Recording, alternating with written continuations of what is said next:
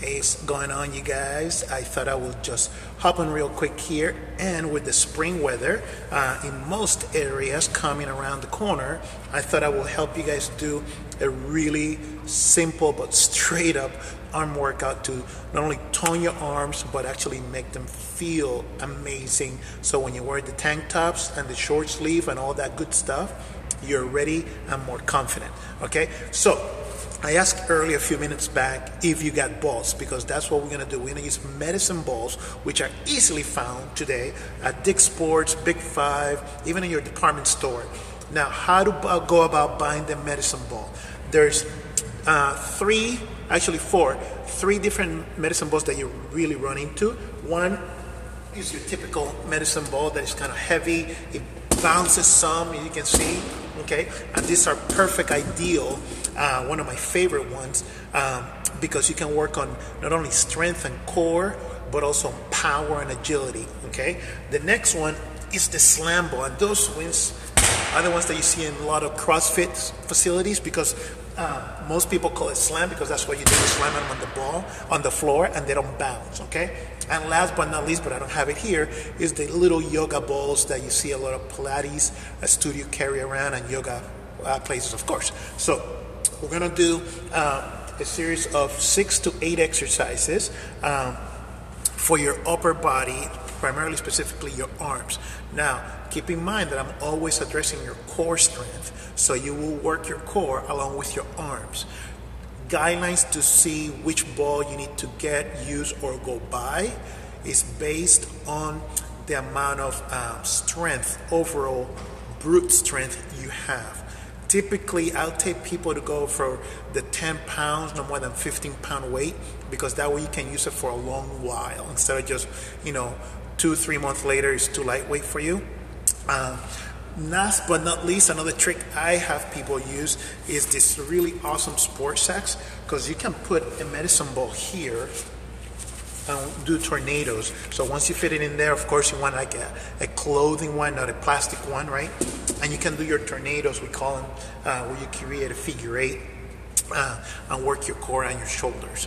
Okay, so let's get started. As always, for strength conditioning, I use uh, my timer so I can focus on the movement. We're gonna start working uh, with the back of the arms, getting the stretch to the lats and the rotators a little bit so you guys can get a concept. But I set it up for 24 seconds. I give myself an extra second just to transition. Uh, but you hear the beeping, and that's me knowing that I need to change. All right, so the first one, I'm gonna be using uh, 10, 8, and 6 pounds. Okay, so for the first one, because it's just a warm up, I'm gonna go with the 6 pounds.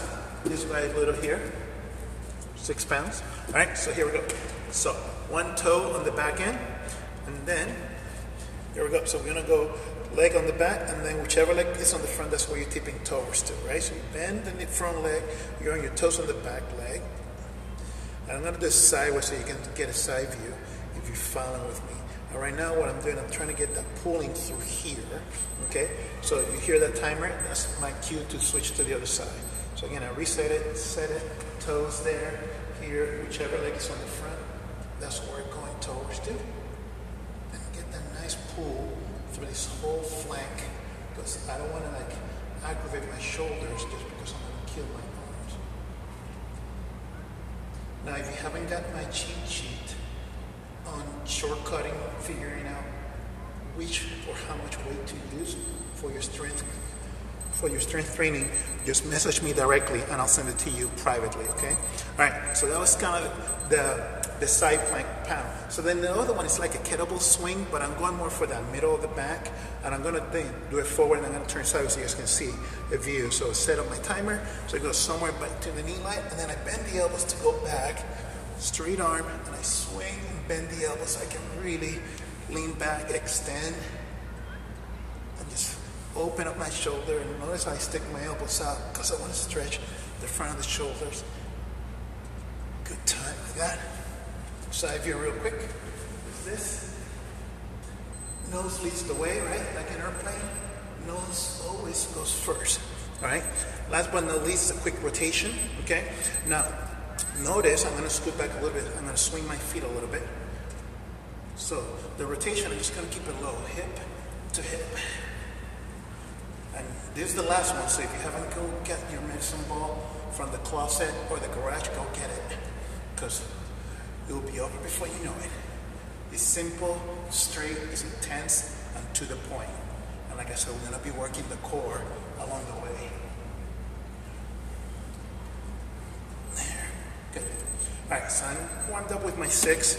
I'm gonna go up to my, excuse me, to my eight pounds, which is this little guy. That's my 10. This is my eight pounds, okay?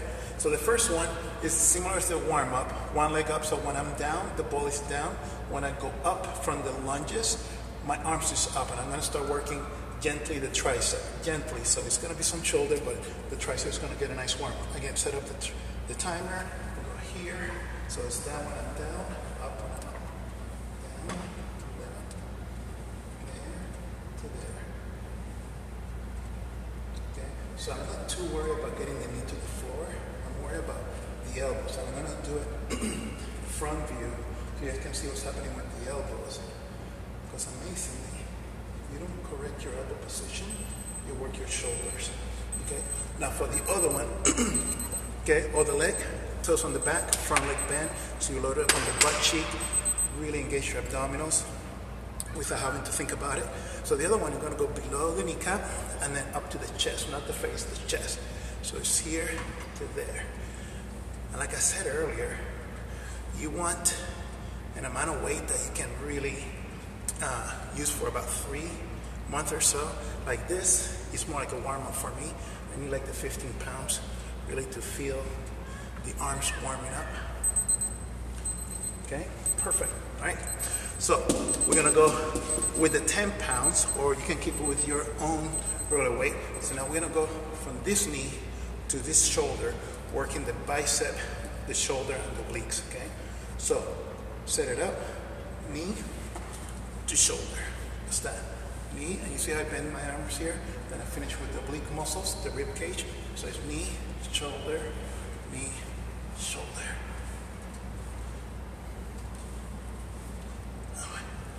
My head is forward, but my feet are pivoting, they're swinging.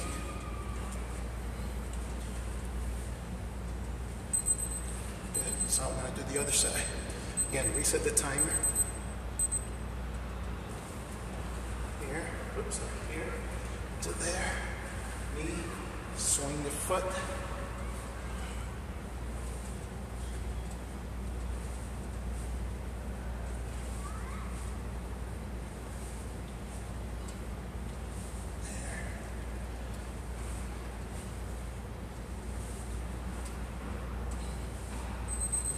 Good. And if you didn't feel it through here, then you missed the oblique. You might need to pivot more on your foot. If you feel the low back, you're extending back, and that's not what you want to do. All right.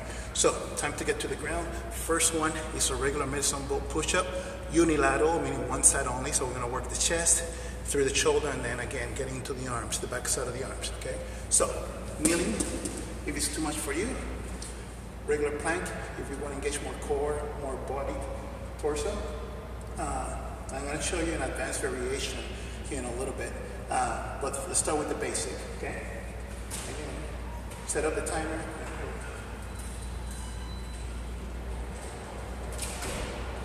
with this one, it's really important for you guys to keep your head on the ball.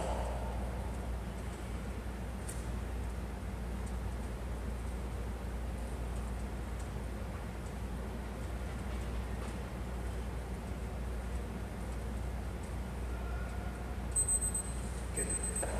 Now, you're getting three things happening right now. You're working your chest and your shoulder on the hand that's on the ball, but your tricep, okay? Your elbow is in, so you're working your tricep through the one that's on the floor. And of course, because you're on a plank, you're engaging your hips and some of your abdominals, so you get to work your core, okay? So I'm gonna do the other side, okay? We go here, set the timer, there, head in front, elbows in, like chicken wings, right? So elbows in, and then head in front, and here we go.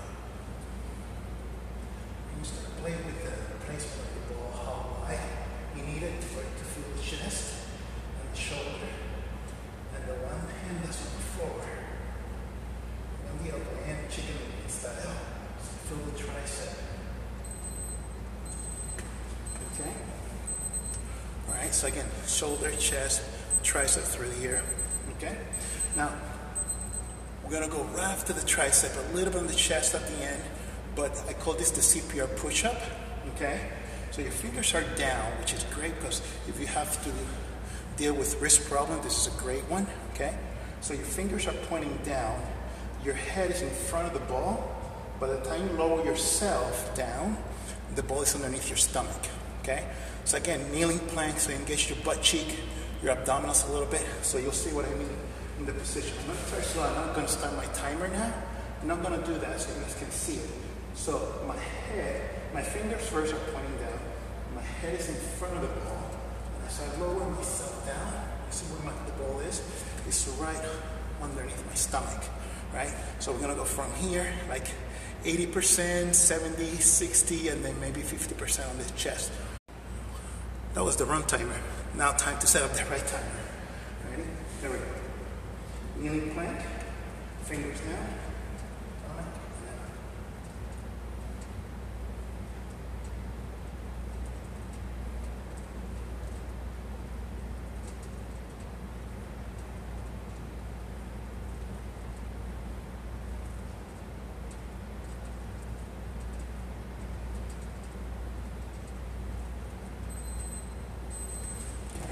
So towards the end, like I said, it was starting to 80, then 70, and then 50% was mostly felt in the chest.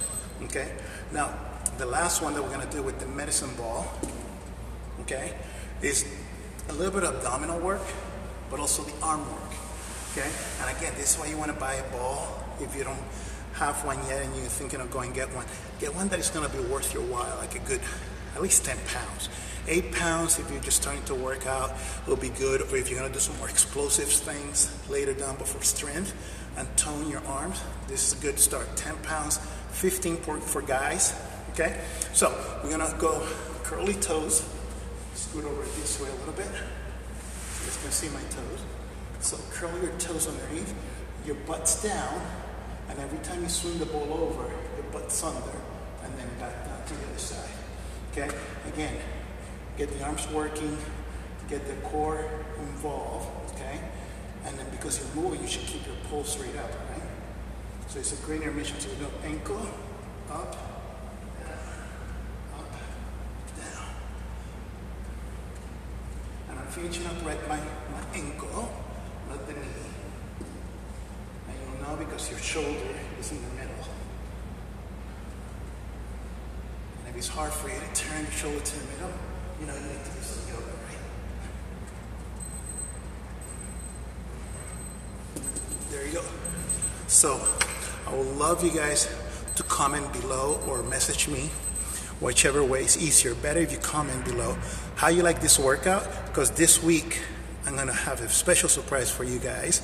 Um, not tomorrow, but for sure Wednesday I'm gonna have a surprise for you guys. But you have 40, no, 54 hours to comment how you like the workout, if you have a medicine ball, or if you got any questions, how to pick and choose a medicine ball for your needs. Comment below, or better yet, if you have some concerns because your shoulder or your wrist, just message me directly and I'll answer those for you. All right, guys, I'm gonna hustle out here and get a little ball time, shoot around before I go pick up the kids. Talk to you guys later. Be well, stay healthy. Bye.